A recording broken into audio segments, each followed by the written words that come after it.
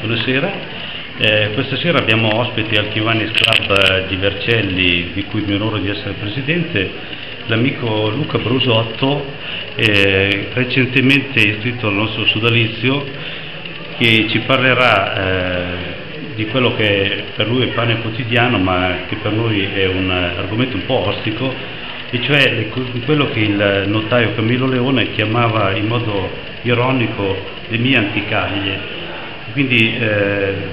Luca ci porterà nei meandri del museo, di, del museo Leone di Vercelli per farci ammirare per, per ora virtualmente quelli che saranno eh, oggetto di una nostra visita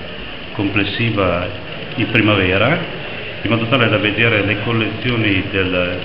del notaio Camillo Leone e per capire quali sono state le molle che hanno fatto scattare questa passione eh, diciamo così, del collezionista doc,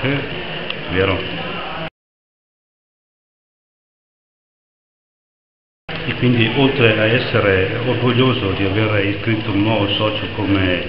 Luca Brusotto, sono sicuro che la serata sarà molto piacevole anche perché Luca ha una dialettica formidabile e quindi sicuramente sarà una serata estremamente piacevole e se poi ci saranno delle belle diapositive da vedere tanto meglio e di questo ne sono sicuro, vero Luca? Ma ero, ero convinto che mi avreste chiesto di parlare di Medioevo essendo io di formazione un medievista io però in realtà volevo parlare anche un po' del mio lavoro e del Museo Leone.